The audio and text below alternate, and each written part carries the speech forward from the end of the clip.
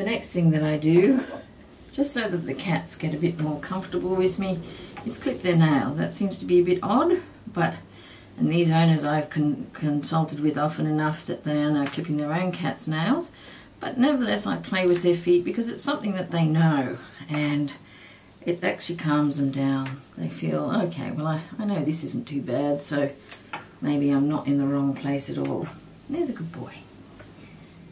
This cat's only 18 months old and he's just had a bit of a cough. But his chest is clear at the moment. But I've decided to take some blood tests before I decide what to do.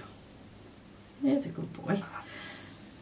I, he is eating. I never take a cat's temperature um, unless they're not eating.